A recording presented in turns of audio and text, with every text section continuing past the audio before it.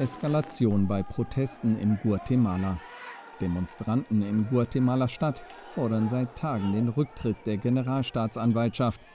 Sie wird international beschuldigt, den erdrutschartigen Wahlsieg von Bernardo Arevalo und seiner Partei, die Antikorruptionsbewegung Semilla im August, untergraben zu wollen.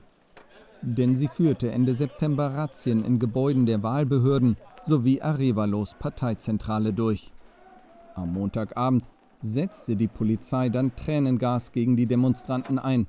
Für Teilnehmer war das Vorgehen der Sicherheitskräfte völlig überzogen.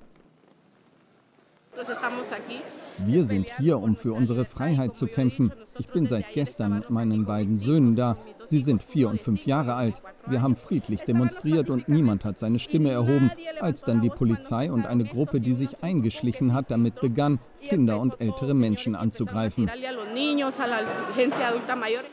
Am späten Montagabend erklärte dann auch der scheidende Präsident Alejandro Giammattei in einer Fernsehansprache, dass das Land keine Straßenblockaden mehr dulden werde.